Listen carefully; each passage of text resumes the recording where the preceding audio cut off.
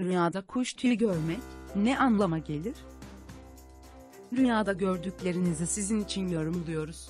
Kuş tüyü görmek bir anlam taşır mı? İyiye mi işarettir? Hayatımı etkiler mi? Rüyada kuş tüyü görmek. Kuş tüyü rüyada kuş tüyü görmek, baskanlık ve yükselişe dalalet eder. Bir seya kuş tüyü doldurduğunu gören, evlenir. Bazilerine göre, rüyada kuş tüyü görmek, zorluğa ve yorgunluğa ve yorgunlukla elde edilen mala delalet eder. Eti.